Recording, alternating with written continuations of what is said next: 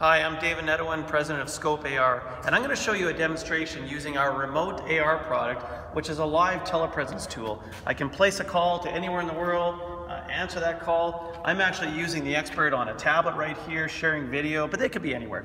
Now what I can do is share audio, so talk to them, share video, but I can also use tools like drawing, for example, or I can add an arrow to a spot. And this information locks in place free of a marker. Now the expert could add their annotations as well. It would show up in a different color so I know what they're trying to show me. Now with AR Kit, uh, coming out by Apple, which we've been testing, the power of that is I can move freely around a room to a totally different location independent of what we have already drawn on and tracked. So for example, I could look at this uh, you know, uh, panel here and want to show the expert this green light. Or maybe I want to add a highlight sphere onto that switch there that the expert can see.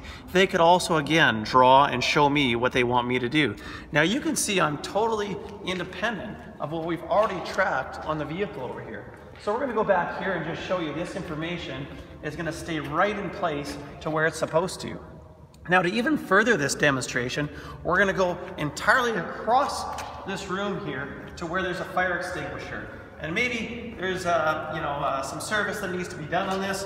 I want to show that the uh, that the dates that we've serviced it were accurate. So for example, I could look right here and I want to draw 2006 okay? And maybe add some, some other information to this, okay? So now this is all staying in place, and again, it's totally independent of what we've already shown on the vehicle over here. So we're gonna go back there one more time just to show that no matter where I go, this content is tracking and locking in place freely of each other. So a really powerful experience combining remote AR with AR Kit. We're going to release it very soon, so stay tuned. Follow us on Facebook and Twitter and be the first to try this out. Thank you.